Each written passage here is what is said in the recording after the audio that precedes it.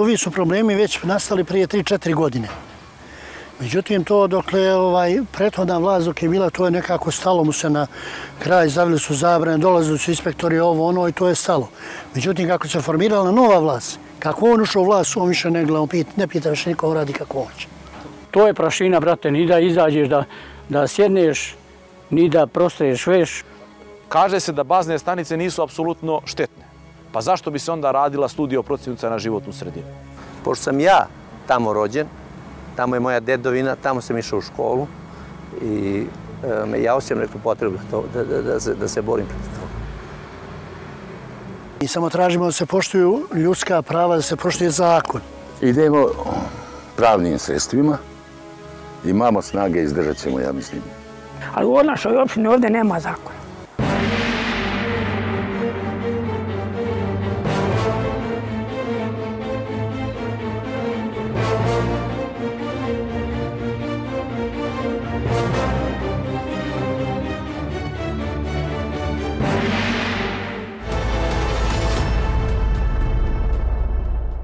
90. godina kad je krenula kriza i kad je ovaj, e, došlo do raspada privrednog sistema Srbije, e, to građansko prezreće rad je ovaj, e, likvidirano. Njega je kupio gospodin Beganović Bahrija. On je tada imao svoje prezreće Voćar Lutka.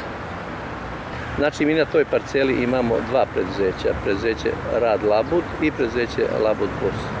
Tu se ne zna na koga se vodi, jer postoje nekakve tri firme. Ja sam došao do nekih podataka, tri firme se pominju. Ima uh, betonsku bazu, ima drobnicu kamenja, melje kamen i sad pokušava asfaltnu bazu da napravi. Sve na jednoj lokaciji. Pored tog drobličnog postrojenja poslije asfaltnu bazu. Pa ja ne vidim, ne znam, ne razumijem. Ovdje do, do najbliže kuće nema vazdušne linije 60 metara gore do, do ovih kuća.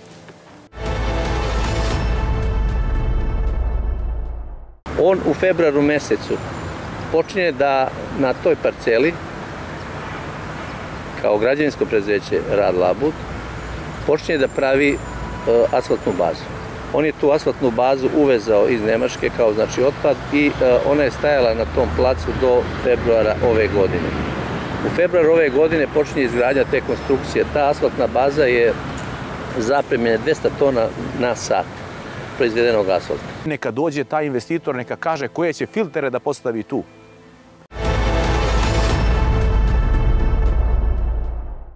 Pošto što je asfaltna baza, to je na ovom zemljištu sve u povrećaju.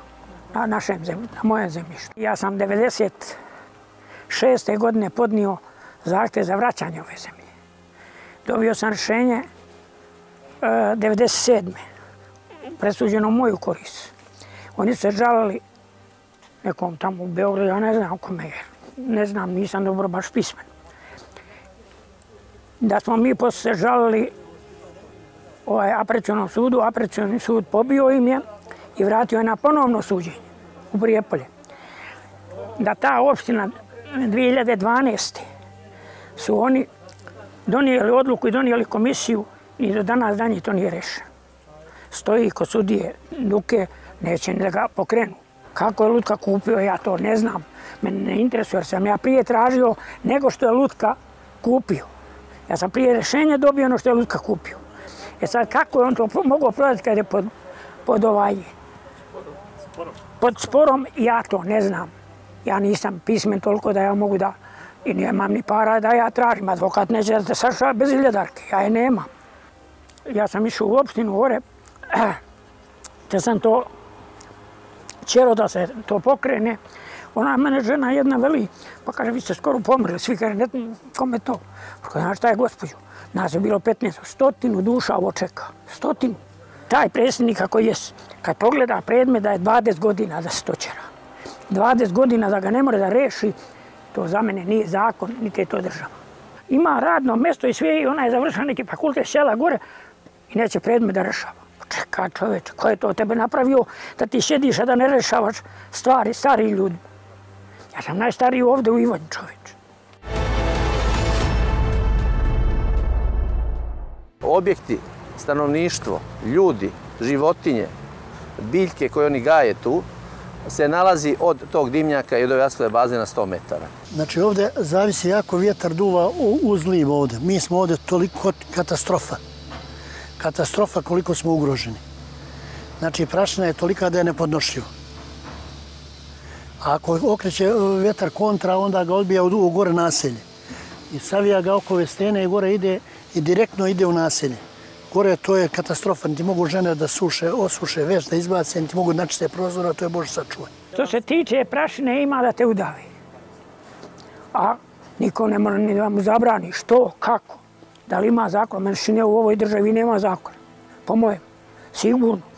Ja u našoj opštini ovde, ja dalje ne znam, nepismen sam, ali u našoj opštini ovde nema zakona.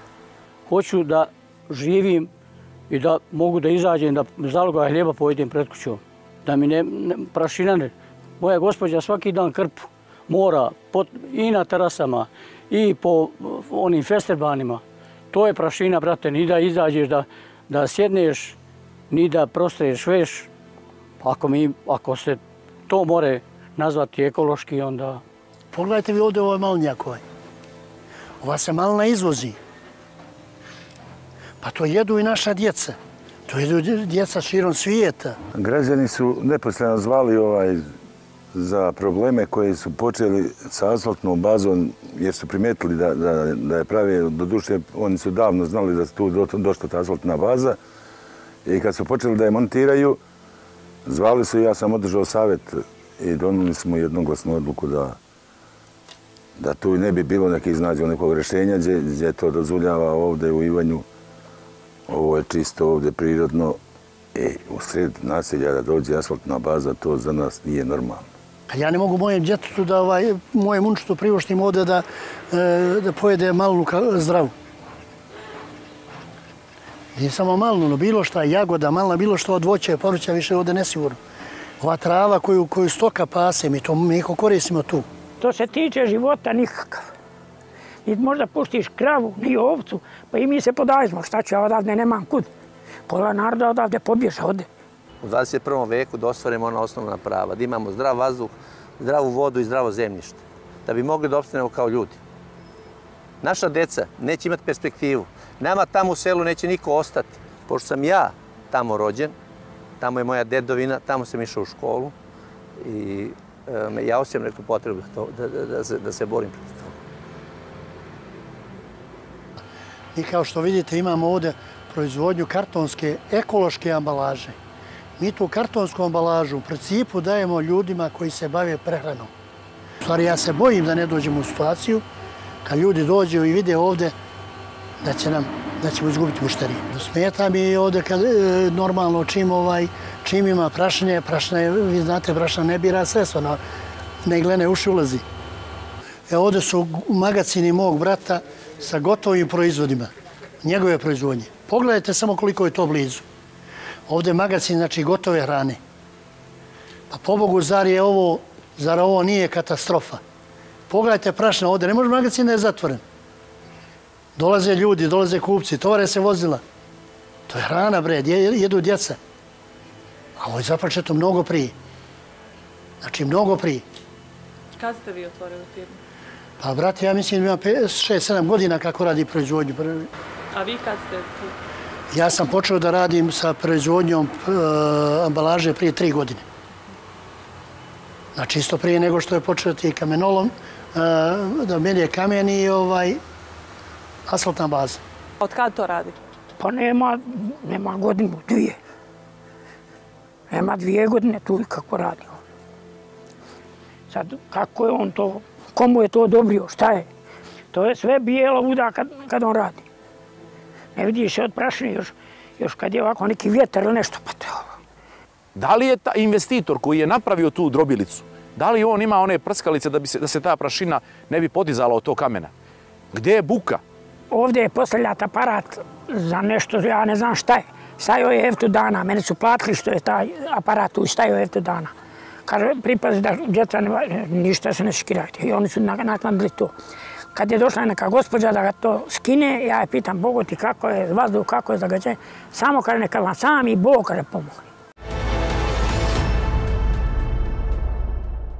Njegova čerka Lela Beganović kao direktor predsjedniča Rad Labut zaključuje ugovor o zakupu sa Telekomom Srbije i na dimnjaku starog preduzeća Crepane, to je, to je dimnjak od 30 metara, a, pokušava da postavi a, baznu stanicu, takozvanu antenu, a, koja bi njemu bila pokriće za ovo što on radi.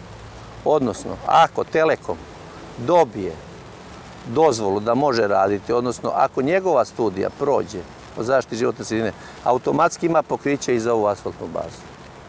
Mi smo, pošto je obaveštenje od opštinske uprave objavljeno u njegovom listu, Polimlje, glas Polimlja, on je vlasnik tog lista, nama su tu uskraćena neka četiri dana da bi mogli pripremiti pripremimo primetbe, mišljenja i na bazu asfaltnu i na ovu antenu Telekoma. On sad montira i antenu, hoće reke antene montira i to da nas zrači, nas poubija s tim antenama. Ova bazna stanica koju planiraju da postave na, na dimnjaku, šta o tome mislite? I to mi nije jasno. Ja skoro sam to vidio, ne znam o čemu se radi. Dimnjak je pravljen 56. godine. Oni su sad postavili nešto tu, ja ne znam ni šta je. Kaže, dao nam gazda. Kakav je taj gazda kad to nije njegovo na onom gdje dimnjak, to je moje. U postupku je u stvari bilo. A što je država uzela? Ja. A evo sad ću ja donijeti rješenje da ti nađem broj parcele, da je to ta parcela. Evo ovdje imaju i svedoci. Oni kažu, ne znaju kako je prešlo, kaže, u, kako je došlo to zemljište u preduzeće. Kako oni ne znaju kako je došlo, kako su znali da ga uzmu, ako nisu znali čiji, kako su uzeli. A evo to ova parcela koja se postavlja sad baza. E, ček, ček, ček, 98 ari, 75 kvadratnih. Evo broj parcele, evo ti. Temeljište u površini od 0,98, 75, skoro hektar. To je ovdje gdje se baza postaja, to je ta. Telekom, kao i uvek, koristi se monopolom i silom, pošto ovoj državi on ima monopol. Njega ne interesuje ljudska prava, zašta životne sredine. On gleda profit.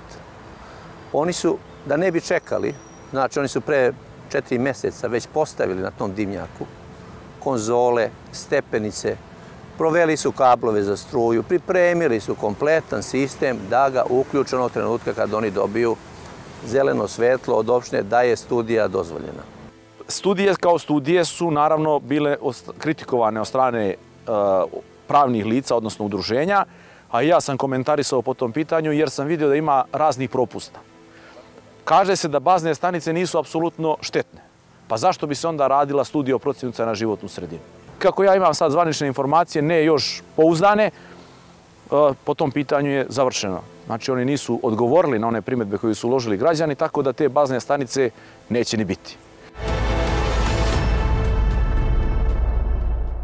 Ono što je korozitet, on je ovaj put koji ide kroz njegovu parcelu, kroz preduzeće, koje je državna imovina, koje je put građana mesne zajednice Ivanje i trafostanica, koja je državna, zatvorio, izmjestio je put, vidjet ćete put, izmjestio je iza kruga tog preduzeća, napravio put i građane prisilio da idu ovim putem. E, vlasnik ovog puta je on u zemljišnim knjigama.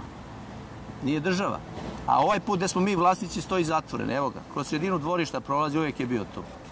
On ga je ovdje zatvorio sa dve kapije i nas ne omogućio da mi idemo svojim putom.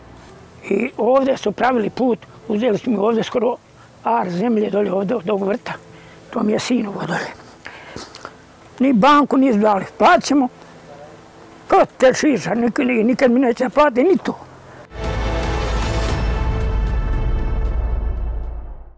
Naređuje se investitor voća Lutka deo da ispije velika župa. Veze nema taj privredni subjekt sa ovom izgradnjom. Ko je on? Rad Labud je legitimisan investitor, izvođač radova. Znači, doneto namjerno rešenje ne, da se ne bi sprovelo. Da se u roku od 8 dana ukloni postrojenje za proizvodnju. Što ga nije uklonio? Zašto? Zato što nije izmenio rešenje.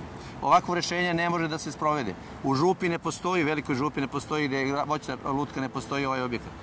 To je bilo 8.9.2011. godine. Još tad mu je naloženo da ukloni pa evo ima drobilicu. Da, da, naloženo. Znači, naređuje se inspektoru, investitoru, pardon, deo za nastva iz Prijepolja Ivanje BB do roku od 5 dana prijema ovog rešenja ukloni drobilično postrojenje. To postrojenje je danas dan i rad. Imaju rešenje na kojem stoji voćar Lutka. Preduzeće koje prvo nije investitor, nije vlasnik parcele. Preduzeće koje, koje se nalazi sa suprotne strane Lima. Preduzeće koje je po stečaju.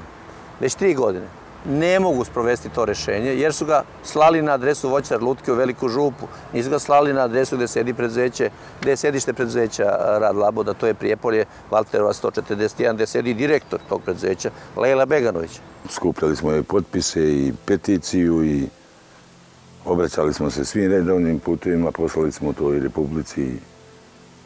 Ovde se nešto čudno dešava. Mi nemamo ništa protiv te asfaltne baze da se rade i negde imamo mi naseljenih mjesta, ali baš da dođe u naselje ovde, to nam nešto ne odgovara, nije, nije nam normalno. A šta kažu u opštini? Čuli smo i od e, građana da je inspekcija naložila da se to ukloni, međutim nije se uklonilo. Šta kažu u opštini? Pa u opštini, čim, čim je i on, taj vlasnik u, u, u, u toj vlasti, ne možeš ni očekivati nikakve on. Mi smo pisali čak neka inspektorka, ne znam, ne usjetim sa imena, iz Užica potvrđuje kao da to ona dostavlja, meni je dostavlja lično, imam papire da pokažem posle gore, dostavlja da to biva nije toliko strašno, međutim kako mi, kad mi smo ozivali da dođe na lice mjesta da vidjeli strašno, nije strašno. Građevinski i e, ministar e, i inspektor zaštite životne sredine bili su na lice mjesta i donili su rješenja da se obustavi rad i mlevenjem kamena i postrojenja koja vrše, vrše mlevenje kamena.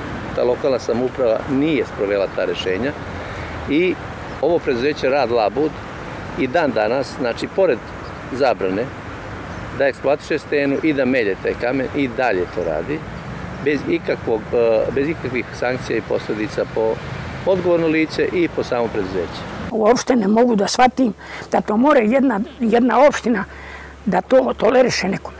Pošto je on koalični partner vlasti u Prijepolju, a ima građanska preduzeća, dan danas, evo danas on izvodi radove na asfaltiranju tih pri, prilaznih i pristupnih puteva po tim seoskim sredinama. I njemu se bez tendera poveravaju poslovi asfaltiranja i izgradnje tih puteva. Prvo, njegova firma nije uopšte licencirana za to. Ja sam bio pismeni od njega. Kako je on došao do bogatstva, ja u to ne ulazim, ne znam bilo mi grota da kažem, ono, kada je radio. Ja sam radio, Bogu, nisam se ni, ni česi to odmorio, pa nemam sam ovo, imam ovo kuće. I to sam napravio jedva. I drugo, ne, nemam bicikla. A moj otac bio prvi gazda ovdje u Ja danas nemam bicikla. Nema mi ni dijete. Nema mi ni unuk. Ja sam imam ljeba da jedem. Prošlo je sve režime, sve politike, samo u cilju osvajanja teritorije, bogaćenja. Povodom problema asfaltne bazom obraćao sam se kao ovaj predstavnik nevladne organizacije Centar za istrage monitoring antikorupcije u vladajnu prava, komunalnoj inspekciji i građevinskoj inspekciji. To je bio zahtev za informacije od javnog značaja? Da, da. I kakav odgovor se dobio? Nisam dobio još nikakav odgovor, evo sad sam trenutno krenuo u opštinu da vidim o čemu se radi. A kad si poslao zahtev? Pa poslao sam, znači, ima 20 dana više. Je bio sam ovaj dole na javnoj, glavnoj javnoj raspravi gdje sam bio podneo i primjedbu na glavnu javnu raspravu pa da vidim nisam dobio nikakav odgovor ni od tada. Od glavne javne rasprave. Rok za odgovor je 15 dana. 15 dana. 15 dana. Idemo Trenut, sad da vidimo. Trenutno da vidimo šta se dešava.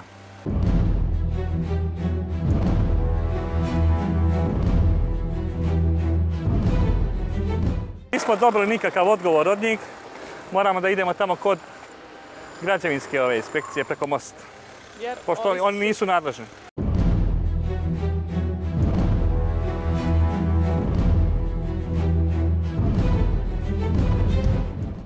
Niko nema ovlašćenja da daje izjave, niti informacije, da me razumete? Da, da, da. Stvarno nemamo ovlašćenja tako, tako nešto. Bili smo kod ekološke inspektorke i ona kaže da nije nadležna da daje izjave.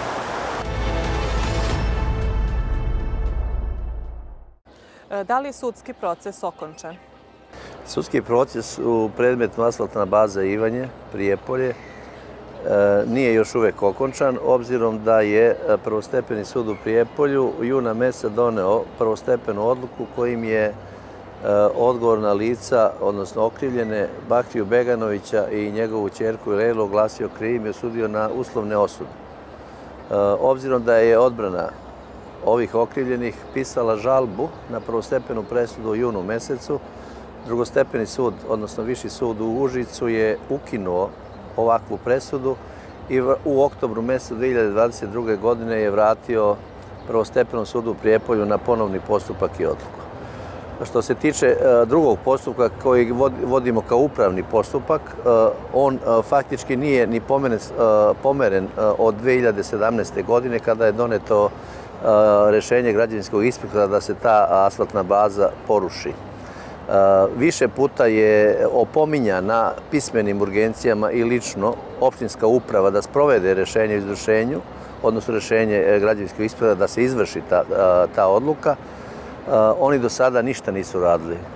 Nisu ovaj, ni aplicirali sredstva kojima bi se to uradilo, nisu angažovali neko preduzeće, odnosno subjekat koji bi mogao da umjesto opštine sprovede postupak izvršenja, odnosno poruši tu asfaltnu bazu koja je bez građevinske dozvole, bez jednog papira sagrađena. Ta asfaltna baza stoji u stanju kakva je i zatečena 2017. godine, još uvijek ne funkcioniše, ali postoji mogućnost svakog trenutka da se aktivira. Prvobitna presuda kojom su oni osuđeni tako, na uslovnu i novčanu kaznu, po vašem mišljenju, da li je adekvatna kazna? E, pa u principu govorimo o nekoj sudskoj praksi na teritoriji Republike Srbije. Uglavnom se kreće u domenu uslovnih osuda uz novčane kazne. E, smatram da ovakav građevinski objekat e, nije objekat od malog malog značaja i nije malog gabarita da bi se izrekla ovakva vrsta e, krivične sankcije. E, postoje i odluke sudova u Srbiji gde su za ovakve objekte, veće objekte, izricane efektivnije kazne, a to je e, kazna zatvora i ovaj, kao sporedna novčana kazna. Vaš komšija je preminuo, nije dočekao pravo. Naš dragi komšija, veliki prijatelj, bivši vlasnik parcele na kojoj se nalazi ova asfaltna baza je pre tri godine, pre tri godine, znači umro i nije dočekao da vidi konačno ono što je želeo, a to je da se taj teren, odnosno vlasništvo njegovog oca i njegovog dede vrati njima u vlasništvo u fazi e, takozvanog vraćanja imovine koja im je oduzeta odnosno u procesu restitucije. A da li ima šanse da to bude vraćeno njegove porodici? Pa, porodica Radisava Đerića je mnogobrojna, ima dosta naslednika. Pojedini od njih su se aktivirali da i dalje sprovode taj postupak, međutim, imajući u vidu klimu i vladavinu prava u Srbiji, posebno u Prijepolju, mislim da do toga uskoro neće doći jer e, subjekti koji e, trebaju da sprovode zakon i da primenjuju pravo, a tiču se sloboda, prava i imovinskih interesa građanja, nisu još e, e, zauzeli stav, niti žele u suštini da takvu stvar pomere sa mrtve tačke.